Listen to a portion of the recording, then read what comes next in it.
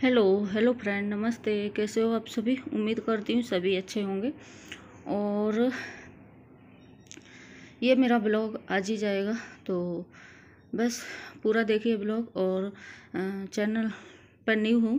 तो channel subscribe कर लेना, वीडियो अच्छा लगे तो लाइक, शेयर करना। और ये मैंने अभी मीशो से एक ड्रेस मंगाई थी तो वही खोल के देख रही थी। मंगाई तो गर्मी के लिए थी, पर अच्छी लग रही थी तो मैंने इसलिए मंगा ली। और मैं मतलब कई बार ड्रेस को देखती हूँ, तब जाके समझ में आती है तो मंगाती हूँ। तो मुझे प्राइस भी अच्छा लगा था, और वैसे भी कपड़े में बहुत अच्छी है कम्फर्टेबल है। आप लोग सोचोगे कि अभी सर्दी है और गर्मी की ड्रेस। तो बस सर्दी भी यही कुछ दिन है, फिर गर्मी आने वाली है। तो इधर देखिए शाम का टाइम था और मैं आ गई थी किचन में। तो मैंने मलाई निकाल के रख दी थी, इसको चला रही थी और गर्म पानी डाल, गर्म पानी डाला है, तब मलाई का घी आया है। नहीं तो वैसे नहीं आता और क्योंकि मॉर्निंग में हो जाता है मेरे पास बहुत काम और इसलिए मैंने सोचा कि चलिए शाम को ही ख़त्म कर लेती हूँ इसको। तो बस गर्म पानी डाला और थोड़ा हाथ से भी ऐसे ही चलाई, ब्लेंडर से चलाई और घी अच्छे से आ गया। उसके बाद में ये घी को मैं निकाल लूँगी और मैंने ये वाला जो ट्रक सूट लाई थी, अभी यही पहन रखा है पर इसमें ठंड नहीं जाती है। मतलब हल्का ऐसा है कि थोड़ा बहुत हल्की फुल्की हो या कहीं वैसे वर्जिश वगैरह करना हो, कोई भी तो उसके लिए ठीक है। तो ये देखिए, मैं निकाल लेती हूँ घी और इसको अभी गर्म कर लूँगी और पनीर भी बनाऊँगी इसमें से। तो बस घर का घी इसी तरह से मलाई मैं निकाल के कर लेती हूँ।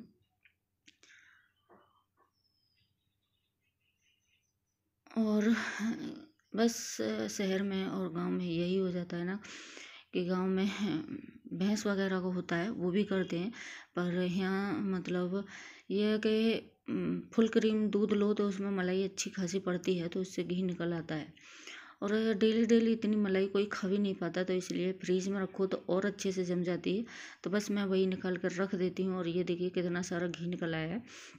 घर का अच्छे से हो जाता है और अच्छे से खा लेते हैं हम। पूजा वगैरह में भी चलता है। तो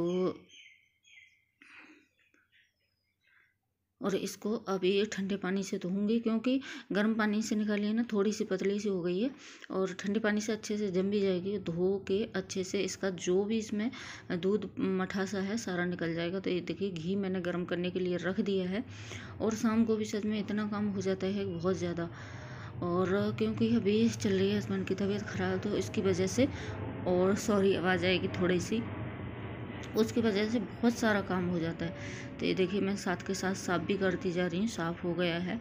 और इधर थोड़ा दूध मंगाऊँगी, फुल क्रीम, आधा के जी दूध मंगाऊँगी तो इसमें डाल के और पनीर निकाल लूँगी। क्योंकि फुल क्रीम वैसे तो मेरे पास रखा है, जो मलाई निकाल लिया, वो रखा है।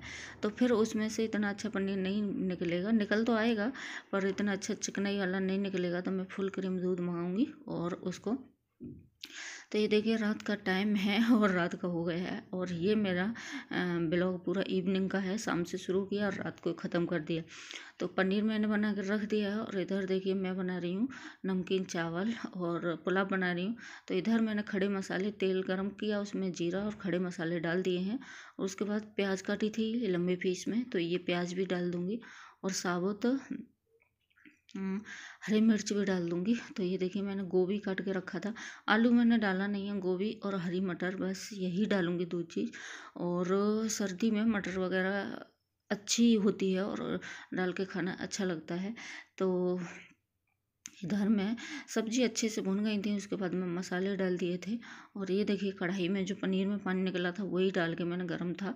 तो इधर ही ये ये कढ़ाई में घी गर्म हुआ था, कढ़ाई मुझे धोनी है तो ये देखिए, इधर मैंने चावल, सब्ज़ी, मसाले सारे डाल दिए, हल्दी पाउडर, धनिया पाउडर, मिर्ची पाउडर, उसके बाद चावल डाल दिए। चावल भी अच्छे से पका लिए काफ़ी देर तक। और एक से छोटा वाला डेढ़ गिलास चावल थे तो तीन गिलास पानी डालूँगी इसमें। दो गिलास उसमें रख लिया था, ढाई डालूँगी, दो, तीन नहीं डालूँगी इतना। और उसके बाद पानी और थोड़ा सा गर्म मसाला डाल के और इसको एक सीटी लगाऊँगी इसमें।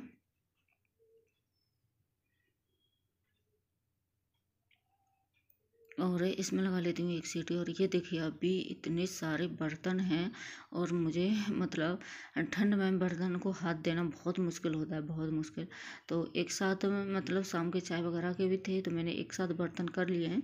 थोड़े थोड़े करके नहीं किए तो मैंने सोचा एक साथ कर लूँ। और ये देखिए, इसमें सीटी आ भी गई और मुझे काम करते करते बिल्कुल भी ध्यान नहीं रहा कि एक सीटी आ गई है इसमें। और उसके बाद में फिर मैंने इनसे पूछा, ये बैठे थे उधर, कि इसमें सीटी आ गई क्या? तब दूसरी सीटी बंद किया और ये देखिए, मसालदानी भी मैंने अब की बार महीने पर नहीं धोई थी, पर मसाले सारे खल गए तो मैंने सोचा मसालदानी भी धो दूँ, इसको दो, एक मसाला था, वो मैंने अलग डाल दिया। तो मैंने इनसे पूछा कि क्या सीटी आ गई कुकर में? और क्योंकि सर्दी के काम करते करते उसमें ध्यान रहता है, क्योंकि ठंड लगती है बहुत ज़्यादा हाथों में। तो इधर बस मेरे बर्तन वगैरह सब कुछ साफ़ हो गए हैं अच्छे से। और तो इसका प्रेशर निकल जाएगा, तब दिखाती हूँ आपको कैसे बने। सच में बहुत अच्छे लगते हैं। और गरम गरम सर्दी में कोई भी चीज़, चावल वगैरह या कुछ भी गरम गरम खाओ तो बहुत ही टेस्ट आता है, इसमें बहुत अच्छे लगते हैं। तो पनीर को भी निकाल के इस प्लास्टिक के डिब्बे में रख के और मैं फ्रीज में रख दूँगी। और ये देखिए, मैं इनके लिए चावल बनाए थे और कुछ आटा रखा था तो मैंने सोचा चलिए रोटी अभी बना लेती हूँ। दो से तीन रोटी बनाऊँगी, एक एक खा लेंगे। सब्ज़ी रखी है कुछ तो उसके लिए ज़्यादा नहीं बनाऊँगी। और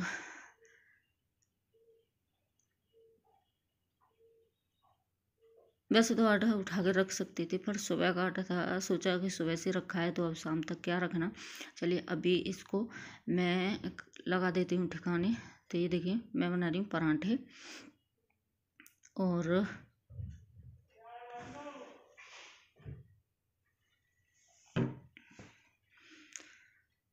तो ये देखिए, पराठे भी सेक चुके हैं।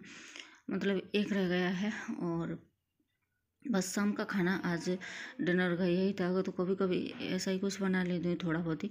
वैसे तो चावल खा के रह जाते पर सोचा कि नहीं।